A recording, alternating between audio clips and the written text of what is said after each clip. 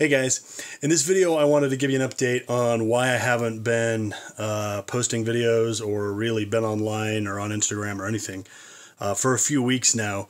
Um, I've actually been really busy in my house um, and uh, the result of that is my shop is no more.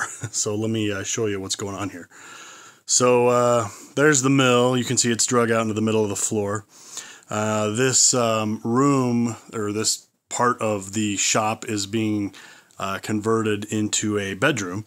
And you might notice uh, the lighting is different and it sounds totally different, uh, at least to me, because of uh, all the batting, or not batting, but uh, cellulose blown in insulation. They just wrapped this up today. Um, we had the framing done a few weeks ago. Of course, everything's always behind schedule. Uh, the the mill used to be right there. This is now going to be a, a really wide closet.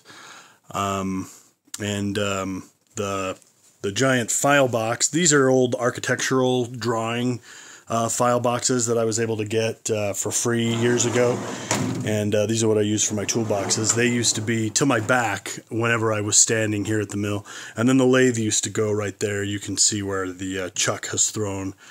Uh, you know, oil and stuff up against the wall.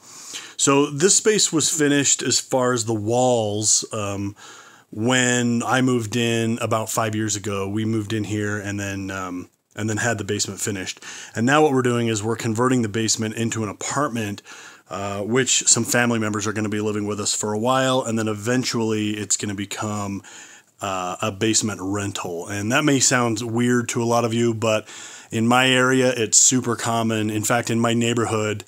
Uh, more than half of the homeowners are renting out their entire basement. And my house, we've got way more space than we need, although my shop has been down here taking up about 400 square feet of it. And so uh, we'll be moving the shop into the garage. So I thought I would just kind of kind of uh, show you the state of things.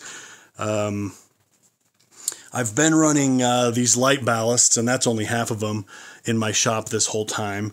And uh, now I've got canned lighting in. Uh, drywallers are supposed to come tomorrow. You can see we had to have uh, framing done around this, um, around all this duct work.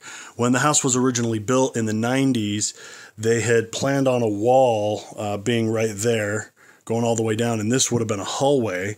And then the wall turned um, right there, or just inside of this wall actually. And uh, this would have been a bedroom, and then a hallway down here to a smaller bedroom. Um, the little bit of framing that was in here was metal studs, and I tore all that out when we first bought the house to turn it into just one large space, and now we're separating it back into two spaces.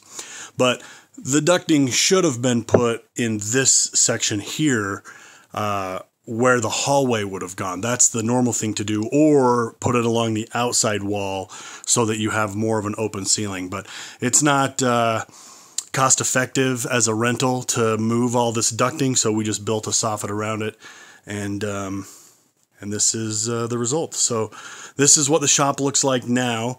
Uh, you can see I've got this two by eight foot bench, and there's another one upside down on it. Uh, that one used to be in the corner, so I had 16 feet of bench. And in fact, uh, before we started moving things, I was standing about right here, and I took one of those uh, Android 360 world, what do they call them, like sphere views uh, of the room. So let me switch over to that real fast. So here you can see uh, there's kind of a square table here in the middle. It's just a big mess. Um, I don't have any storage in this shop. I've never built vertical storage, uh, a couple of totes, that's about it.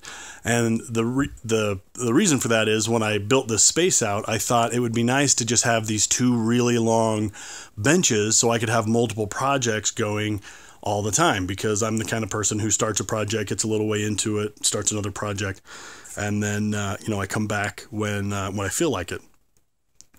This has actually been a huge mistake, and it's just resulted in stuff being stacked on top of stuff. And I've never bothered to spend time or money to fix this up or clean it. But now that I'm moving into the garage, uh, my plan there is to leave myself pretty much no flat surfaces.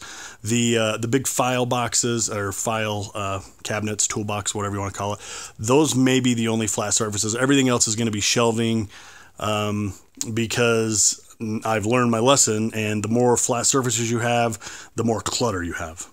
All right, let me bring you back here to the uh, to the space as it is currently. See the old uh, Harbor Freight drill press. So this is going to be. Oh, my phone cut out on me there. Um, dang it, I already forgot what I was saying. I lost my train of thought after I was trying to figure out why my phone stopped. Uh, yeah, anyway, um, you can just see this is all gutted. So this, um, like I said, this will be a bedroom back here. So the layout's going to be a little bit strange. Uh, this will be kind of an extra bedroom. And then this is going to be a kitchen right here. Uh, there's a bathroom on the other side of that wall. Uh, this, what used to be the family room, well, it, it's still going to be a family room, but now it's just got all my crap stored in it. Um, all of my um, shop stuff is in most of these totes, most of that shop stuff. And uh, we've had to move everything back and forth so many times to, for, you know, so the uh, contractors could work around it. Um, it's just been total chaos. I mean, look at the mess down here. We, nobody's been trying to clean up or anything. Uh, so yeah, so there's a bathroom, furnace room. There's a bedroom down there. Uh, that used to be my office. Now it's just packed full of stuff, and that's where my computers were, where I do all my video editing. Um, and then this staircase, uh, this would lead up into my uh, kitchen and dining room. Uh, and then I've got a living room uh, right up here. But what we've done is we've walled off around my staircase, and then we've cut open the wall here, and actually I'll just show it to you real fast. We're going to get really bad lighting. It's so quiet with all this batting. It's kind of eerie. So this will be the uh, the entrance for the people living in the basement, and I'll just kind of show you what I did here. So there's the garage. Uh, we we basically took four feet out of the garage to build this hallway. So the garage can no longer be parked in because it's too shallow but it immediately answers the question where do I put my shop? And I'm not going to show you in there right now, but I'll show you later. So let me turn back around. Sorry, I'm getting a little winded already. Uh, so you can see we kind of made a just an entrance way, and I put in a just a little pony wall. That's so you know you can lift couches up and get them in here. This will actually be a doorway. Let me back up again. So the uh, the people who live in the basement, my family for now, they'll come in and have an exterior door here. I'll have my exterior door here. Uh, that's the exterior door that goes out to my side yard. This will be an exterior door going into the shop.